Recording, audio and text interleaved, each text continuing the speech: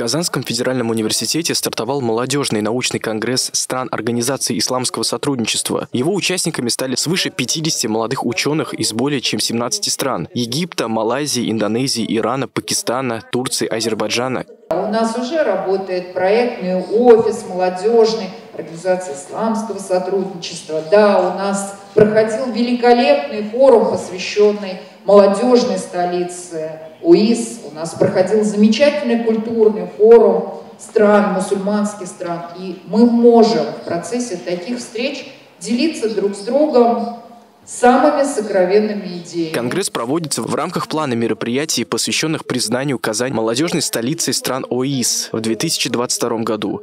Казанский федеральный университет был представлен проректором по внешним связям Тимирханом Алишевым. Конгресс направлен на создание платформы международного сотрудничества для формирования предпосылок для устойчивого развития международного сотрудничества в научной сфере с регионом ОИС. Мы очень рады, что Казанский федеральный университет стал площадкой проведения молодежного научного конгресса стран ОИС. Вы знаете, что Казань в этом году замечательно приобрел статус столицы страной из молодежной.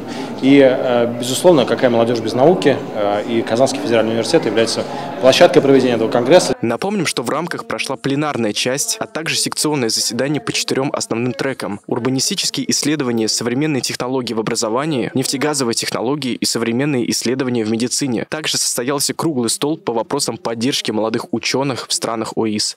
Амир Ахтямов, Александр Кузнецов, Универньюз.